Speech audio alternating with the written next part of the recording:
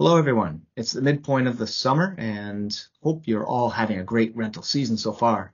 While you catch your breath from managing your guests, your turnovers, perhaps even some inquiries for next summer, I'm here to give a quick update on what we at We Need a Vacation are seeing.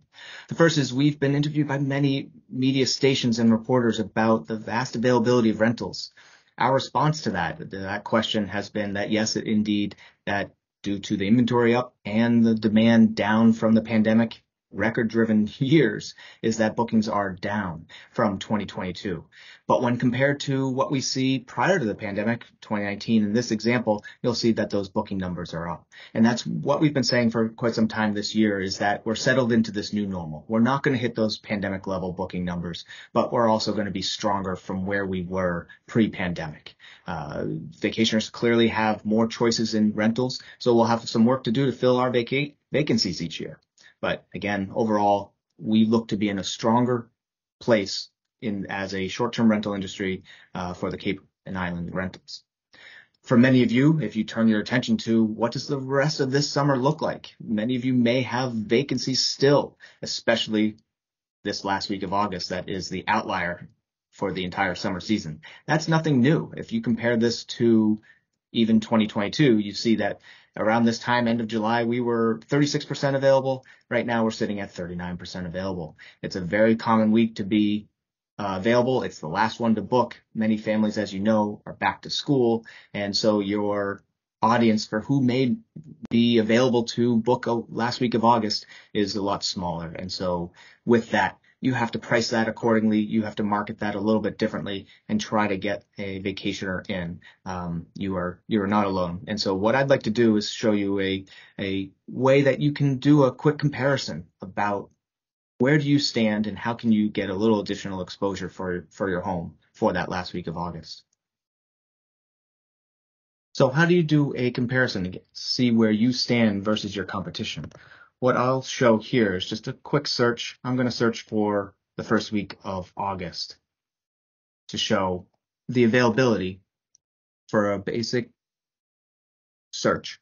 This is a two bedroom search, mid Cape Cod, first week of August, and you'll see that there are 17 properties available.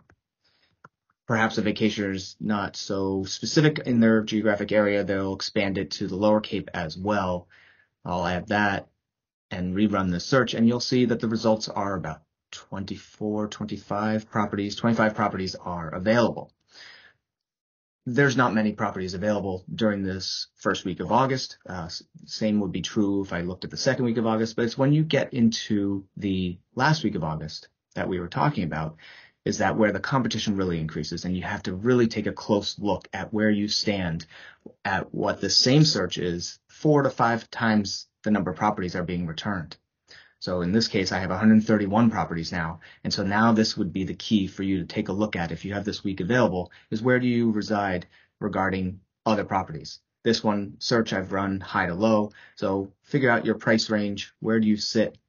Where's your property sit? And how many properties are there available at your price range and see what you can do. Perhaps it's time to drop it a little bit further to make it a little more appealing, but definitely take a look to see how many properties are in that range.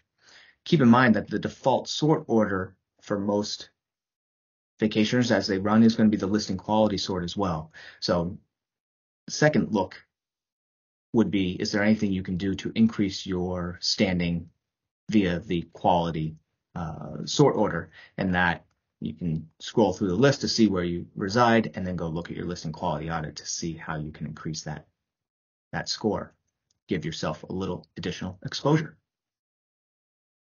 So lastly, while next summer may be the last thing on your mind right now, keep in mind that for a group of vacationers, it's not. There are some vacationers that, believe it or not, are searching for summer 2024 right now.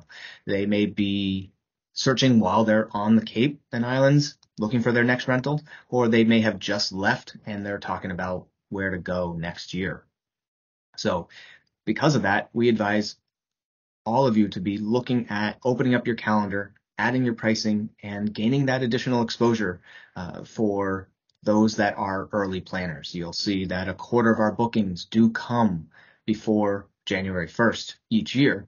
And so you can really take advantage if you can find a, a way to open up your calendars, work with your returning guests uh, and figure out a way to open those weeks that you know for sure are available. Sometimes repeat guests, you might want to give them a little extra time, understandable, but there are likely to be some weeks that you're, you know for sure can be opened up. And so I would not hesitate to open those up, add your pricing. You can always modify your pricing later on, uh, plus, uh, you know, up or down as needs be, but definitely open up those bookings, gain some additional extra exposure and get yourself off to the next season off on a good start.